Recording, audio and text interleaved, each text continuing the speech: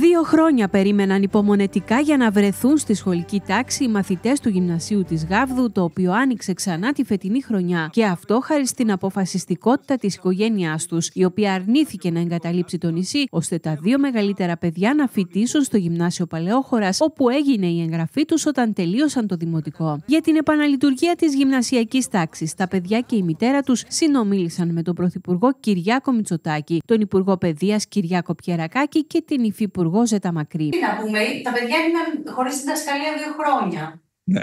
Καταλαβαίνετε τώρα ε, πώς ήταν αυτά τα δύο χρόνια και πώς μπορεί να είναι και αυτά και εμείς.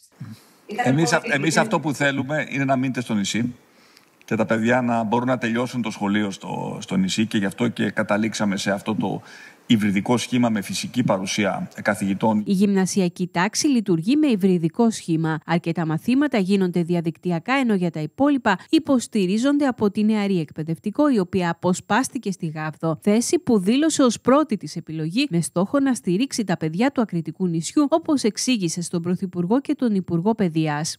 Εγώ να ευχηθώ καλή αρχή, παιδιά. Ευχαριστούμε πάρα πολύ και ευχαριστούμε πάρα πολύ για τη την όλη στήριξη που έχετε δώσει, γιατί εγώ όταν ήρθα εδώ πριν κάποιες μέρες, ε, βρήκα εδώ το, το διαδραστικό πίνακα, βρήκα εδώ τα πάντα. Ο Κυριάκος Μητσοτάκης αναφέρθηκε σε ένα πολύ σημαντικό βήμα, καθώς το συγκεκριμένο μοντέλο εκπαίδευσης μπορεί πλέον να υιοθετηθεί και σε άλλες ακριτικές περιοχές, με αρχή τους Αρκιούς, όπου του χρόνου προβλέπεται να γίνει το ίδιο για τους μαθητές του νησιού. Το καταλαβαίνω ότι είναι δύσκολο και ότι ένα γυμνάσιο τώρα για δύο παιδιά. Το καταλαβαίνω γιατί το έχω ακούσει από πολλούς. Καλό είναι πάντα να γινόμαστε καλύτεροι και το σημαντικό είναι ότι αυτό είναι ένα μοντέλο πια το οποίο μπορούμε να το υιοθετήσουμε κι αλλού.